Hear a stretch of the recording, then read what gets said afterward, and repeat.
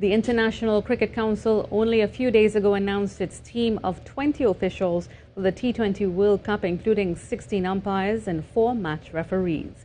For the first time since the pandemic, there will be neutral umpires for all matches. Three of these 16 umpires will be officiating in their sixth Men's T20 World Cup. Among them is the lone Caribbean representative, Joel Wilson.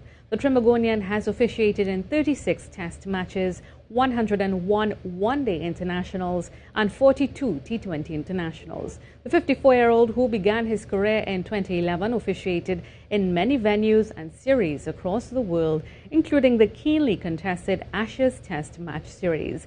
Umpiring is always a difficult duty and we wish him the very best.